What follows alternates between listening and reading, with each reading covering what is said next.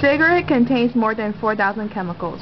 When a female smokes during her pregnancy period, the fetus is also intaking these teratogens with the mother at the same time, causing toxicity. On the other hand, alcohol is another teratogen to the developing human.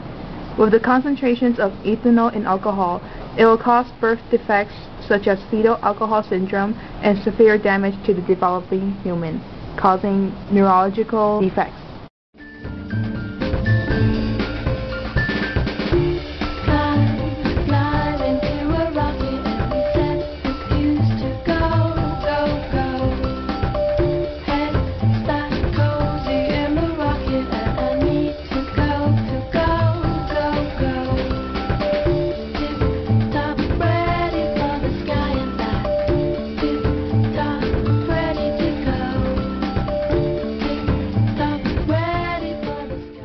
Here is a normal cilia movement in the fallopian tube. When the cilia are beating at a normal rate, the zygote forms after fertilization at the fimbriae will move through the fallopian tube regularly.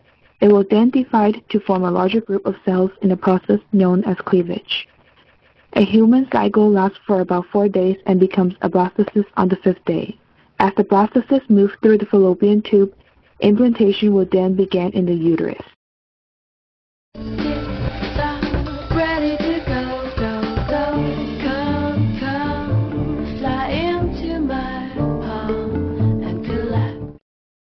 Smoking prevents the cilia from beating properly in the fallopian tube after fertilization. With a slower beat movement of the cilia, the zygote will then move at a slower pace. This will cause cleavage in the fallopian tube and the zygote is not moving fast enough to the uterus for implantation. This problem is known as ectopic pregnancy where the fertilized ovum is implanted at any other sites other than the uterus. An ectopic pregnancy is a medical emergency. If it is not treated properly, it can lead to death of the woman due to increased blood loss from rupture.